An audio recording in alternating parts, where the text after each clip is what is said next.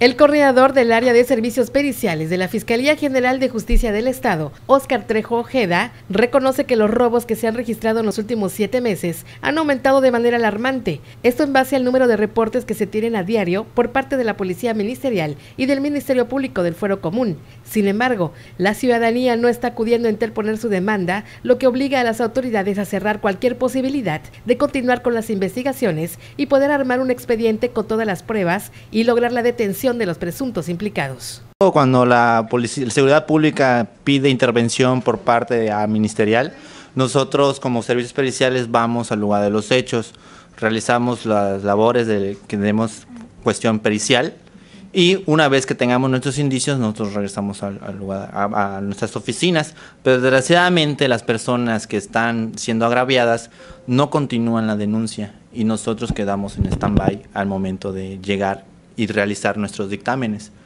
Se le puede decir que tenemos la, famosa cifra negra.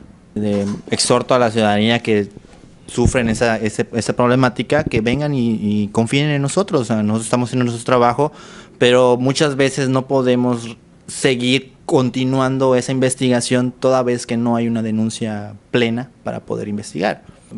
Sí se le puede decir que es alto. Eh, los robos, ese de, se hace un robo, pero no vienen a denunciar. Ese es el problema más que nada.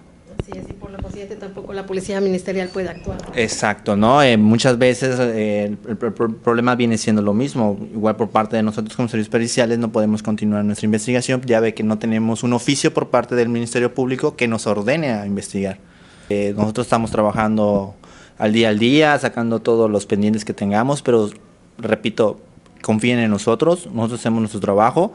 Si ustedes no vienen, no podemos continuar esa investigación. ¿no? Y la prueba está cuando hay un, robo, la policía ministerial va al lugar de los hechos, se toma nota, se toma todo, por parte de servicios periciales, va, busca indicios, huellas, pero si no viene la persona a denunciar, nosotros no podemos continuar con la, con la investigación. Con imágenes de Julio May, informó para Canal 10, Landy Vera.